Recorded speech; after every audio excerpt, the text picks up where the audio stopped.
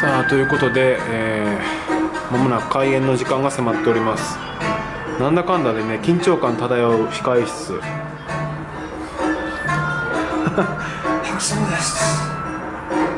こ3分ぐらいもう喋ってないもんね。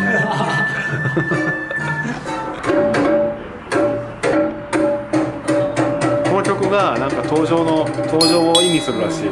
あねブザーね劇場でいう今から始まりますよっていうあのトイレにバタンを打ってみてくださいよっていう。いい兆候ですね。これを聞くとみんな静かになるというめっちゃ静まり返ってるけど大丈夫めっちゃ聞こえてますちょっとざわざわしてください。こうこうこう。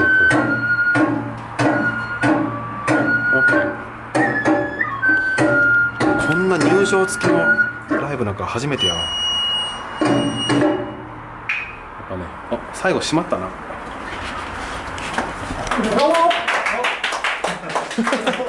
とうございます、はい。えー、始まりました。あ、えー、桂チロルと申しまして桂小枝一門でございます。よろしくお願いします。えっと、シンガーソングライター兼 YouTuber ということで、えっと、が活動しておりますわらとシーロです。よろしくお願いします。入れ事ということで第1回でございます、はい。でねだから入れ事っていうのはあのまあ業界用語でもないんでしょうけど、うなんかあのまあ落語本筋ある。中にこう演者がオリジナルでこう入れるくだり、ボケ。その入れ事っていうことで今回はその古典落語に何か違う文化を入れ込んでやろうじゃないか震えて声が震えてますけど全然自分の古典落語壊されるんじゃないかというビビりが出てますけれども化学反応を起こしてみようということで、まあ、1回目、えー音楽という音楽ね。さんをありがとうございます。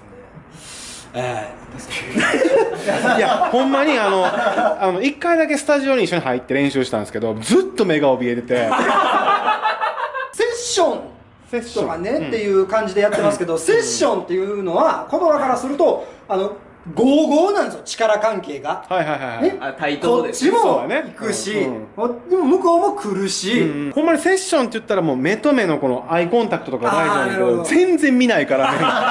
これやばいと思って。見たらやばいと思って。本日はそのまあ入れ事。これねあのメインの企画になるんですけどまあある意味お遊びというところもあります、うん。何が起きるかわからないこう未知なところ、これはお楽しみにしていただくんですけども、まあけどまず音楽と落語これ、がっつりちゃんとこうねプロのお二人聞いてもらおうじゃないかと。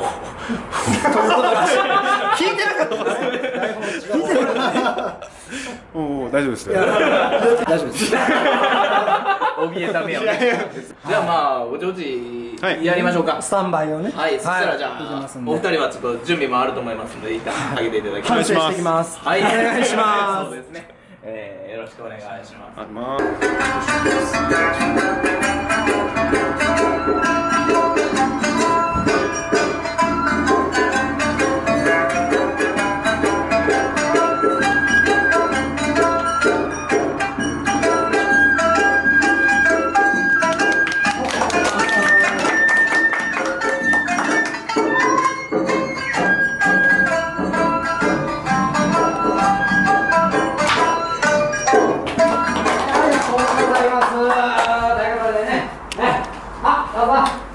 合いました。間